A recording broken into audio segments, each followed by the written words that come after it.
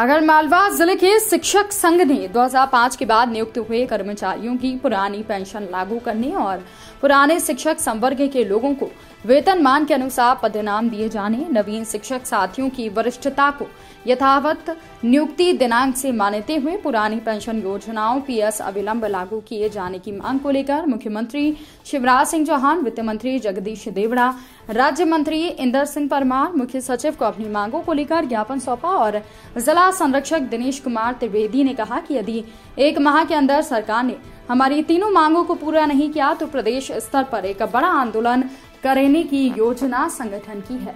क्या नाम है आपका? दिनेश कुमार त्रिवेदी।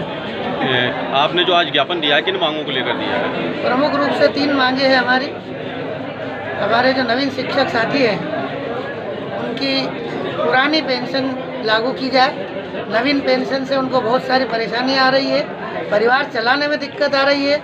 मुश्किल से 700 से 1200 रुपए मासिक पेंशन जो साथी हमारे रिटायर हो गए हैं, उनको प्राप्त हो रही है। ये वृद्धावस्था पेंशन से भी न्यूनतम है। इसमें घर कैसे चल पाएगा?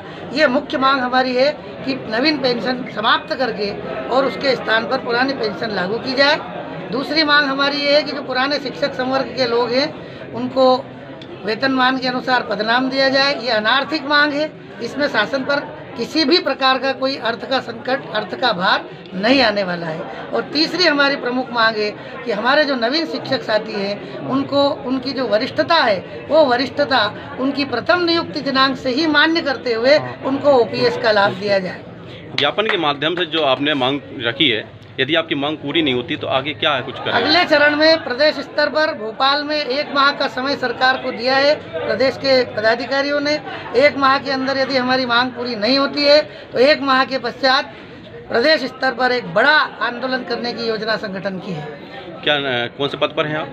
मैं पहले पूर्व जिलाध्यक्ष हूँ मध्य प्रदेश शिक्षक जिला संरक्षक संरक्षक